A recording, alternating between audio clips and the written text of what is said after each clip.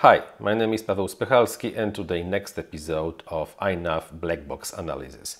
What we have today on our workbench is a log from a friend of mine that is maybe not complaining, but he wishes that some of the functions of iNav were working slightly better. The biggest problem, according to, to his testimony, let's call it like this, is the problem with altitude hold.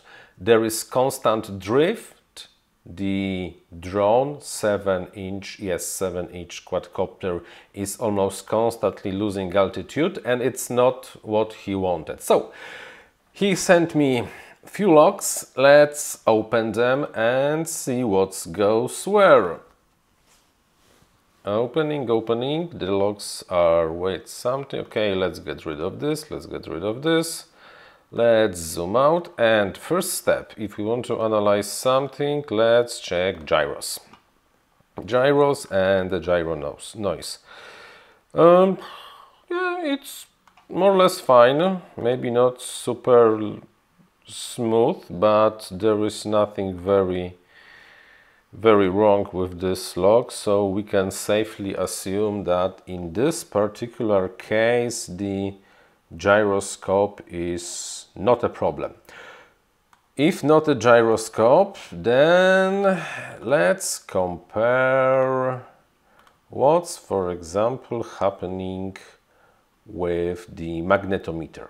I'm absolutely aware that the friend of mine, Ernest, thanks, was not complaining about the position hold direction or toilet bowling, but to be honest, it's always worth to check if there is something fishy happening with magnetometer. So let's just take a look and let's look for the correlation between throttle and magnetometer readout. There is nothing over here, nothing over here, something here this was probably a flip or something. No, it was a roll. So this is completely fine. Let's go here. There is something like, uh, but no, UAV drone is changing attitude, so no. Um, no, I would have to say that probably the magnetometer readouts are not correlated with the throttle. That means that probably magnetometer is just far enough from power cables to be affected by the high current situation. So no, there is absolutely there are, there is no problem with magnetometer. Then let's find uh, the next possible cause. Uh, what was that? Ah, yes, the poor altitude hold and constant drift. So, let's display barometer. Let's find a place in the log where nav RTH, okay, this is fine. We have a barometer trace, something is happening. But let's add another custom graph and let's see if there is a correlation between magnetometer and computed position. Nav pos 2, that means it's the computer computed position. Um, this position, vertical, is computed based on the barometer, GPS and accelerometer. Mm, they more or less look almost the same, so okay, everything is fine. This, this is fine, this is hard maneuver, so it should be fine. But um, this looks strange to be honest, this looks slightly strange because it's fine, both graphs are correlated, but from time to time something is happening. No, this was roll, so no. This was another roll. Hmm. Let me open a second log.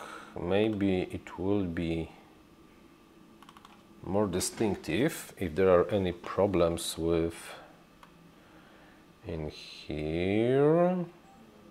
Ernest, you are flying too aggressively. Oh, this is interesting. Hmm. No.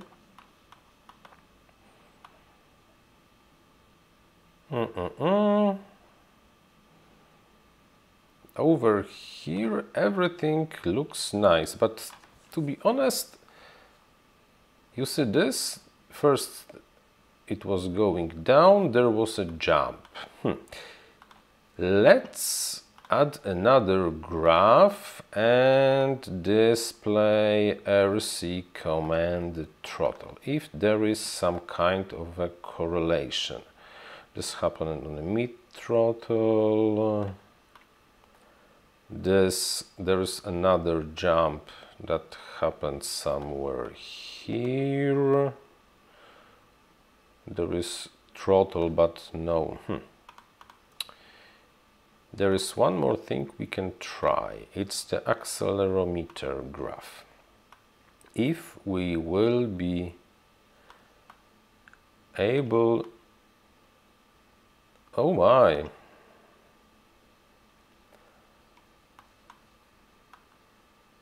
Um, to be honest, the accelerometer graph looks very, very, very fishy to me. It's slightly slightly too active on the accelerometers.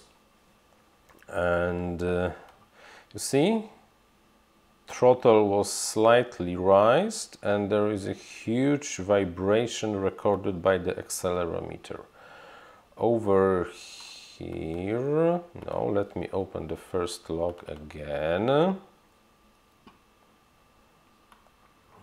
maybe we will be able to see something new. This is interesting.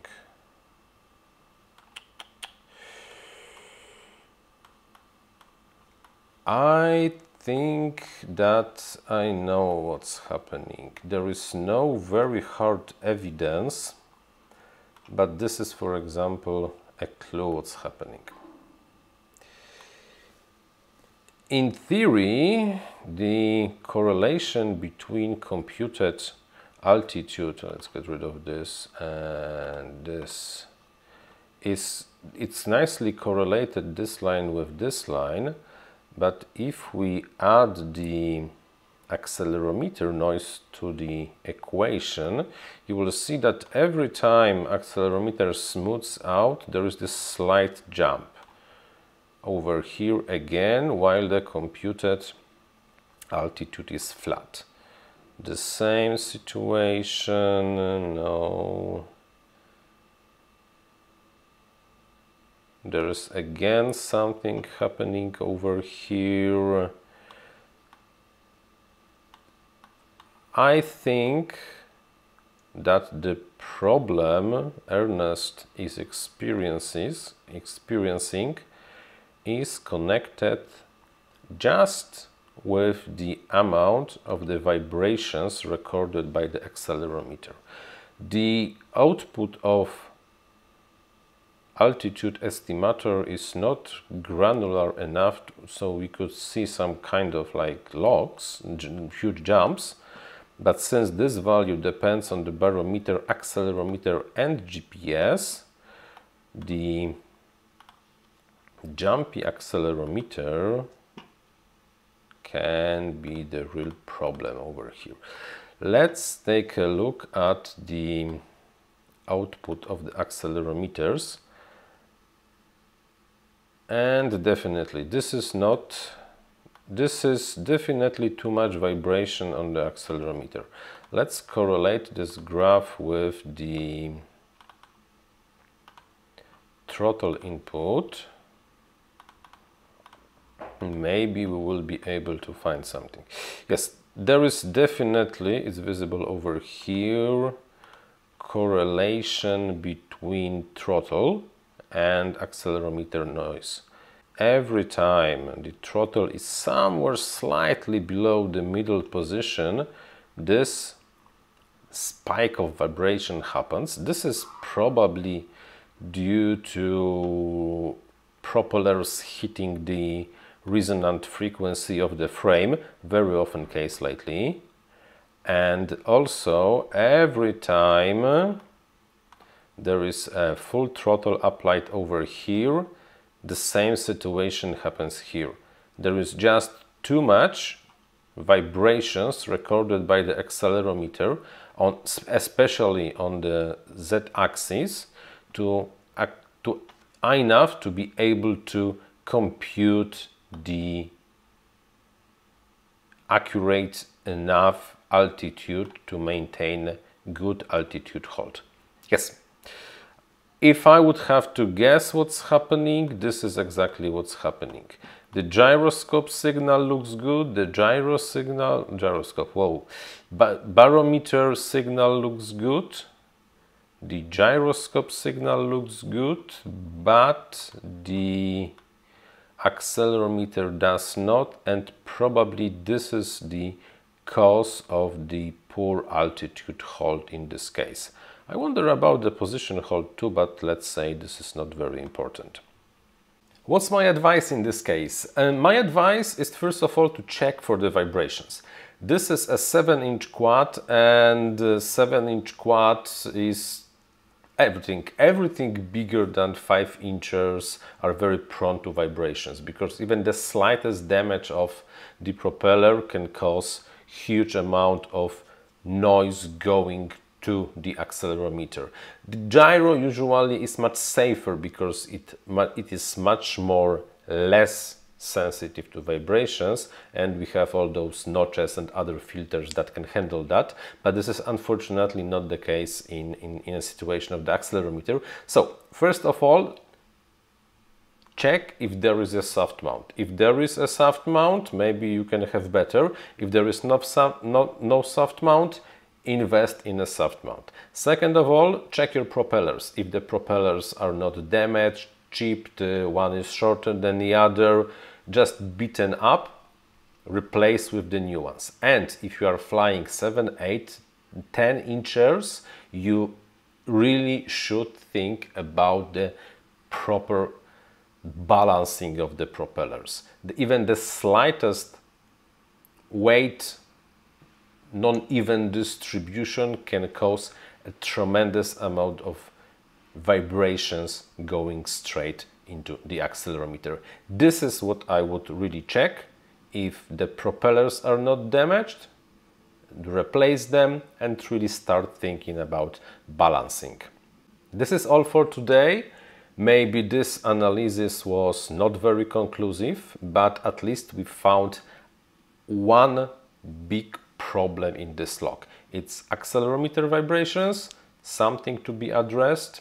I already informed Ernest about the problem and he promised to give me a flight log with new set of propellers so we will be able to compare one first and the next log today tomorrow no today maybe tomorrow, maybe in a few days, maybe in a week, and we will know if this thing really helped.